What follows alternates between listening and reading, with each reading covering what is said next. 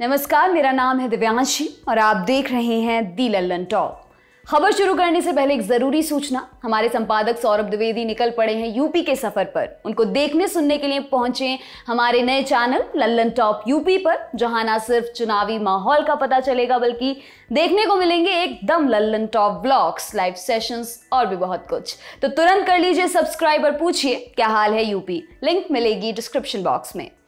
अब बढ़ते हैं आज के किस्से की तरफ़।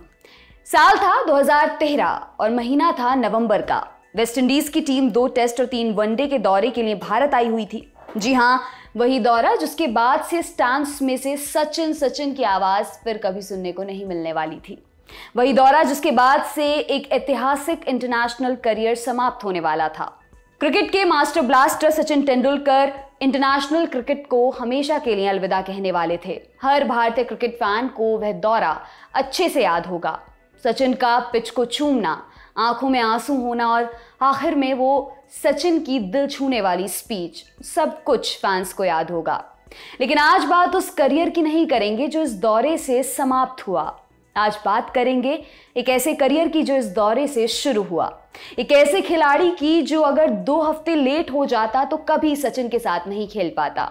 एक ऐसे खिलाड़ी की जो महज बिरयानी के लिए बल्लेबाजों के छक्के छुड़वा देता था। एक ऐसे गेंदबाज की जिसके बड़े भाई की किडनी में अगर पथरी ना होती तो शायद उसका बड़ा भाई आज भारत के लिए खेल रहा होता। आज बात करेंगे भारत के लिए 350 से ज़्यादा विकेट लेने वाले गेंदबाज मोहम्मद शमी की। सिंपल एक्शन तेज रफ्तार और सीम के तो क्या ही कहने। गेंद की सीम इतनी सीधी कि तीर भी शर्मा जाए। मॉडर्न क्रिकेट में शायद ही कोई ऐसा गेंदबाज हो जो गेंद को इतनी सीधी सीम के साथ फेंकता हो। एक्यूरेसी ऐसी कि जनाब की 355 इंटरनेशनल विकेट में से 102 विकेट क्लीन बोल्ड के रूप में आई हैं। 6 नवंबर 2013 को कोलकाता के एरन गार्डन्स में अपने डेब्यू टेस्ट मैच में शमी ने पहली पारी में चार और दूसरी पारी में पाँच विकेट चटकाए थे। इनमें से छह विकेट बोल्ड के रूप में और एक विकेट एलबीडब्ल्यू के रूप में आया था। इससे शमी की एक्यूरेसी का अंदाज़ा लगाया जा सकता है। बंगाल के लिए डोमेस्टिक क्रिकेट खेलने वाले शमी उस मैच में लोकल बॉय कहलाए, यानी अपने होम ग्राउंड पर मैच खेल रहे थे। लेकिन कैसे उत्तर प्रदेश के एक छोटे से शहर का लड़का, जिसके पिता की स्पेयर पार्ट्स की दुकान थी खेलते खेलते ईडन गार्डन्स तक पहुँच गया। आज मोहम्मद शमी के इकतीसवें जन्मदिन पर आपको बताएँगे कि कैसे उनकी मेहनत और उनके पिता की लगन के चलते उन्होंने सहसपुर से टीम इंडिया तक का सफ़र तय किया। उत्तर प्रदेश के अमरोहा ज़िले के छोटे से शहर, सहसपुर से आने वाले मोहम्मद शमी को गेंदबाजी तो यूँ समझिए अपनी विरासत में मिली। उनके पिता तौसीफ अली खुद एक तेज गेंदबाज थे, अच्छी खासी रफ्तार से गेंद करते थे, लेकिन सुविधाओं के अभाव के चलते रह गए। सहसपुर में ना कोई मैदान था, ना कोई पिच, ना कोई क्रिकेट की सुविधाएँ, लेकिन वे नहीं चाहते थे जो उनके साथ हुआ, उनके बेटे के साथ भी हो। शमी के बड़े और छोटे दोनों भाई गेंदबाजी करते थे। बड़े भाई तो शमी से भी तेज थे, लेकिन गुर्दे में पथरी होने के चलते उन्हें क्रिकेट से किनारा करना पड़ा। पिता के साथ कारोबार में हाथ बटाने लगे, लेकिन शमी के लिए उनके पिता चाहते थे कि वे अपने तेज गेंदबाजी के हुनर को लेकर आगे बढ़ें। शमी के पिता ने कहा भी था, मैंने उसमें रफ्तार के साथ गेंदबाजी के बाकी गुण भी देखे। उसका बड़ा भाई भी तेज गेंद करता था, लेकिन उसके गुर्दे में पथरी थी तो वह मेरे साथ कारोबार में जुड़ गया। छोटा भाई भी तेज गेंद करता था, लेकिन शमी के पास अच्छी रफ्तार थी। मैं चाहता था वह इस पर ज़ोर लगाए। शमी के कॉलेज खत्म होने के पास पिता तौसीफ उन्हें मुरादाबाद के कोच बदरुद्दीन सिद्दकी के पास ले गए। शमी एक साल तक मुरादाबाद में सिद्दकी की कोचिंग में खेलते रहे, लेकिन शमी के पिता ये जानते थे कि यूपी से इंटरनेशनल तक पहुँचने में काफ़ी अड़चने आएँगी। शमी के पिता का कहना था यूपी में कोई क्लब सिस्टम नहीं है। यहाँ आपको बार बार ट्रायल्स देने जाना पड़ता है। जहाँ कई बार तो ऐसा होता है कि आपसे दो तीन गेंद फेंकवा कर ही आपको रिजेक्ट कर दिया जाता है। मैं नहीं चाहता था कि इसकी कहानी भी ट्रायल्स तक रह जाए। बदरुद्दीन कोलकाता में कुछ लोगों को जानते थे तो हमने उसे वहाँ भेज दिया। शमी को उनके पिता की क्रिकेट में रुचि होने का बहुत फ़ायदा मिला। वे जानते थे कि शमी में वो लगन है जो क्रिकेट के खेल में आगे बढ़ने के लिए सबसे ज़रूरी है। वे ये भी जानते थे कि कुछ पाने के लिए कुछ खोना भी पड़ता है और उन्होंने अपने 16 साल के बेटे को कोलकाता के लिए रवाना कर दिया। कोलकाता के ईडन गार्डन से एक किलोमीटर दूर था डलहौजी एथलेटिक क्लब। ये क्लब क्रिकेट के लिए नहीं पहचाना जाता था। इस क्लब में एक प्रैक्टिस पिच थी। आधी मिट्टी, आधी सीमेंट से बनी। मैदान के बाहर एक टेंट था। शमी उस टेंट में रहते, खाते और उस प्रैक्टिस पिच पर अपनी गेंदबाजी का अभ्यास करते। एक रोज डलहौजी एथलेटिक क्लब के सुमोन चक्रवर्ती ने टाउन हॉल क्लब के कोच देवव्रता दास को फ़ोन लगाया।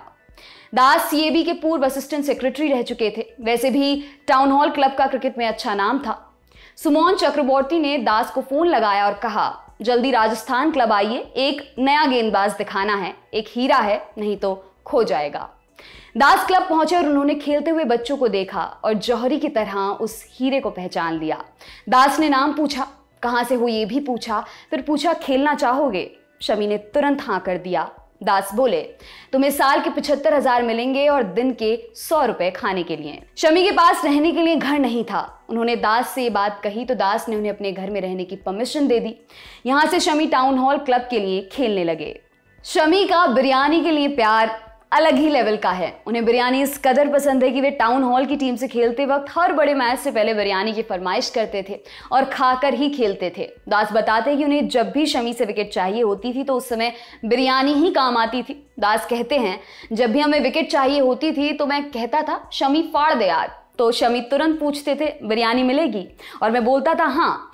शमी फट से बोलता था अच्छा गेंद दो। और तुरंत हमें विकेट निकाल कर देता था। दास बताते हैं कि ना उन्हें कभी पैसा चाहिए होता था, ना ही कुछ और। सुख सुविधाएँ, सिर्फ़ बिरयानी और सोना।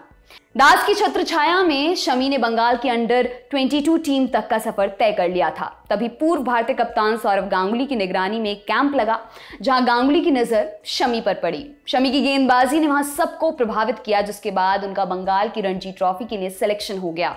फिर क्या था? शमी ने पीछे मुड़कर नहीं देखा और डोमेस्टिक में बेहतरीन प्रदर्शन लगातार करते गए।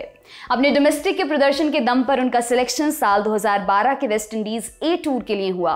वहाँ भी शमी ने अपनी गेंदबाजी से आग बरसाई। शमी ने उस दौरे पर भारत की फ्लैट पिचों पर एक बेहतरीन तेज गेंदबाजी का नमूना पेश किया। इरन गार्डन्स में 10 और इंदौर में 11 विकेट चटकाए।